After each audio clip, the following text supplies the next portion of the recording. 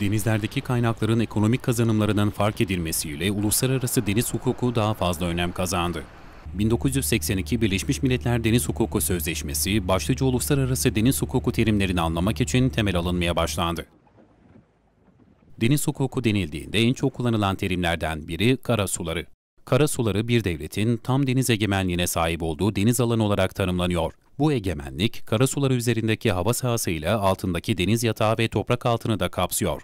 Devletlere kara sularının genişliğini 12 deniz miline kadar belirleme hakkı tanınıyor.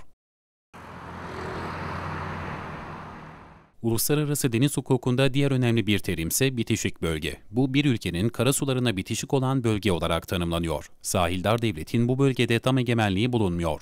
Sadece bazı kanun ve kuralların ihlalini önlemek için bitişik bölgede kontrol yapabiliyor ve ihlalleri cezalandırabiliyor.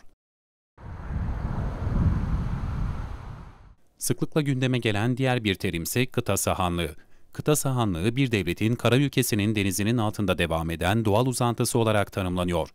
Deniz yatağı ve toprak altını içeriyor. Genişliği 200 deniz miline, coğrafi şartların el verdiği durumlarda ise 350 deniz miline kadar uzanabiliyor.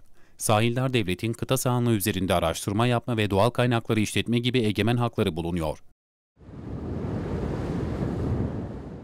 Münhasır ekonomik bölge ise sahildar devletin hem deniz tabanı hem de su kütlesini kapsıyor.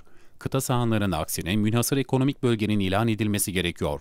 Bu bölgede sahildar devletin deniz yatağı üzerindeki sularda, deniz yataklarında ve toprak altındaki doğal kaynaklarının araştırılması ve işletilmesinde egemen hakları bulunuyor.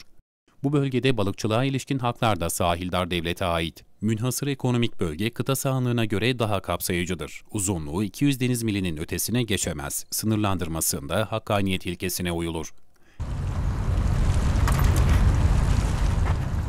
Diğer önemli terim ise açık denizler. Herhangi bir devlete bağlı olmayan tüm alanları kapsayan açık denizlerde hiçbir devletin kendine has hakları bulunmaz.